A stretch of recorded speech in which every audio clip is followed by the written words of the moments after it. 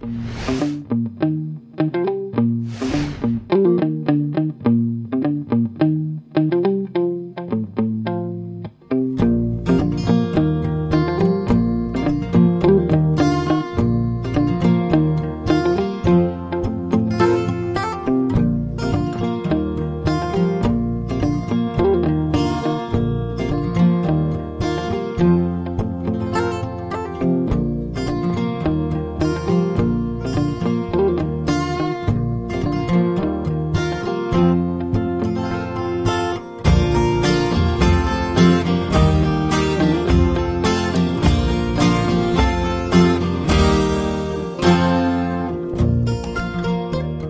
saí de Passo, né? Passo Sul de Minas. E vou agora para Foz do Iguaçu trabalhar lá.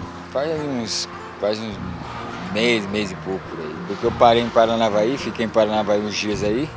Eu fui tentar trabalhar, deu aquele problema, né, cara? Eu não consegui ganhar nem o dinheiro para mim comprar passagem para mim de ônibus, né? Porque aí teve que vir mesmo de bicicleta, né? O sol desse aí dá para rodar aí, porque esse aqui, é, dessa parte aqui, tem muita subida, mas lá para frente já fica um pouco melhor. Dá para rodar uns 120, 130 quilômetros.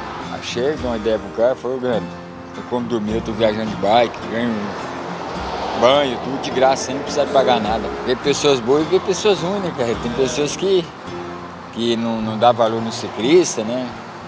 E o seguinte, a gente que é ciclista, assim, que viaja de bike, assim, é, nós conhecemos o movimento da estrada, já sabe como é que é o esquema, né, cara? Tem muitos ciclistas que andam de bicicleta aí e faz bobagem né, no meio da estrada aí.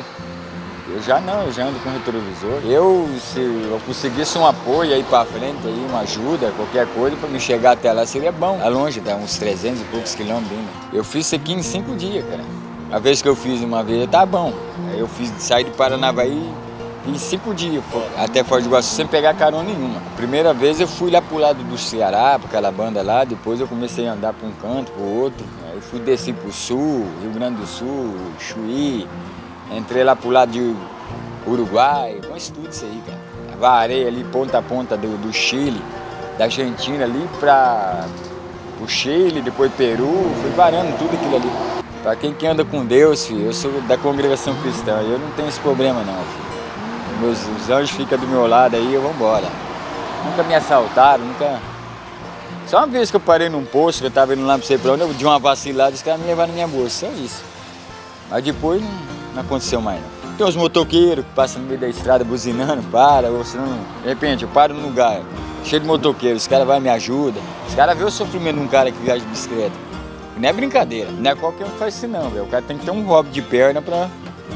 Senão não, não, não aguenta não. E essa bicicleta aí foi Deus que me deu, cara.